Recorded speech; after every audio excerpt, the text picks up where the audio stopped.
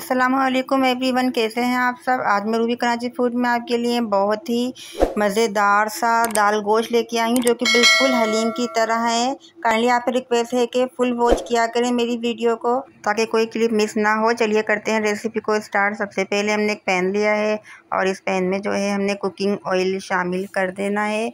आप अपने हिसाब से कम या ज़्यादा कर सकते हैं। अब जो है इस कुकिंग ऑयल में जो है हमने प्याज ऐड कर देनी है। और जो है प्याज ऐड करके हमने प्याज को हाफ़ फ्राई करना है, फुल फ्राई नहीं करना है। और जब हाफ़ फ्राई हो जाएगी तो हमने इसमें थोड़ा सा ज़ीरा ऐड कर देना है। और ज़ीरा भी अपने हिसाब से कम या ज़्यादा कर सकते हैं। मुझे जितना चाहिए था मैंने इतना ले लिया है। और चलाएँगे मिक्सिंग कर देंगे, फिर इसके बाद जो है गोश्त जो हमने लिया था, वो गोश्त को शामिल कर देंगे। और इसको तकरीबन हमने पिंक होने तक भूनना है। जब ये पिंक हो जाएगा तो हमने इसमें लहसुन अदरक ऐड कर देना है।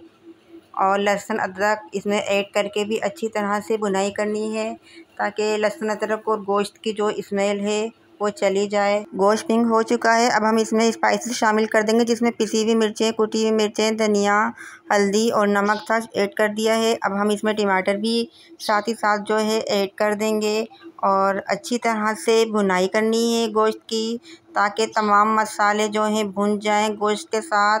और जब गोश्त भुन जाएगा, देखिए भुन चुका है तकरीबन गोश्त। इस स्टेज पे हमने पानी ऐड कर देना है और पानी हमने इतना रखना है जिसमें हमारा ये गोश्त जो है अच्छी तरह से गल जाए। ऐड कर दिया पानी हमने। अब इसको थोड़ा सा चलाएँगे और चलाने के बाद जो है इसको ढक के मीडियम आँच पे रख देंगे।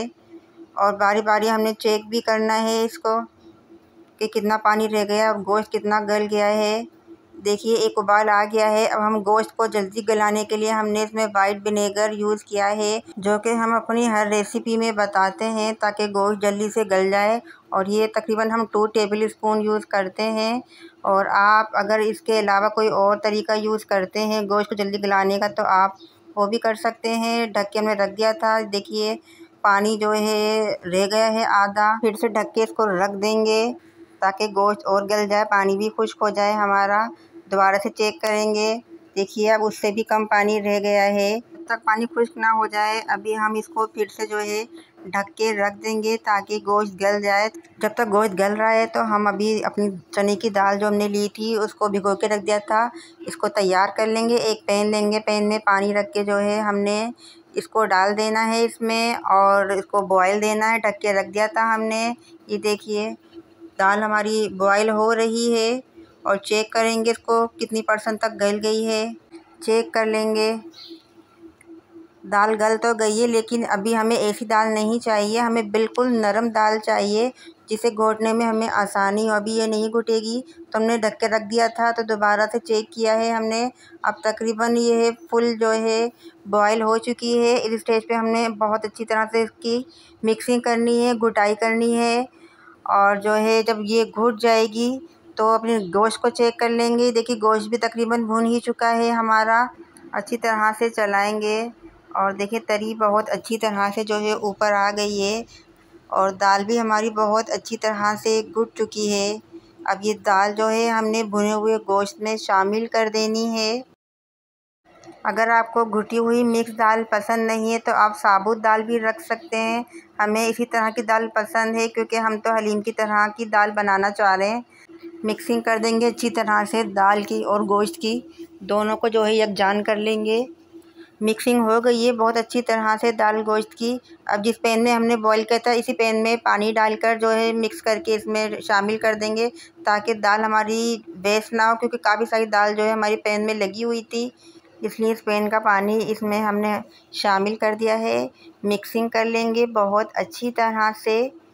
ताकि दाल और पानी जो है, बिल्कुल जो है, यकजान हो जाए। खूब अच्छी तरह जब घुटाई हो जाए तो अब हमने इसमें नमक शामिल कर देना है। आप अपने हिसाब से कम या ज़्यादा कर सकते हैं। मिक्सिंग कर देंगे अच्छी तरह से। और दाल चूँकि हमारी तैयार हो चुकी है, तब हम इसमें जो है गरम मसाला भी ऐड कर देंगे। हमें इसमें ज़्यादा गरम मसाला अच्छा लगता है, ताकि ये हलीम का टेस्ट दे। और बहुत अच्छी तरह से जो है सब चीज़ों की मिक्सिंग हो गई है। दाल भी बहुत अच्छी तरह से हमारी घुट गई है, बिल्कुल तैयार है। सबसे लास्ट में जो है हमने हरा धनिया और हरी मिर्चें काट के रखी थी। ये ऐड कर देंगे। इसका फ्लेवर और लुक जो है बहुत अच्छा आता है। बिल्कुल जो है हलीम की तरह लगती है देखने में भी और खाने में भी। अब चूँकि हमें तड़का पसंद है इसमें तो हम इसमें तड़के के लिए हमने एक पैन में कुकिंग ऑयल ले लिया था, प्याज ऐड कर दी थी, ज़ीरा ऐड कर दिया था, चला लिया है अच्छी तरह से और इसको गोल्डन फ्राई करेंगे, ज़रा कुरकुरी प्याज कर लेंगे और इसमें ऐड कर देंगे हम। ये देखिए, हमने डिश आउट कर लिया है।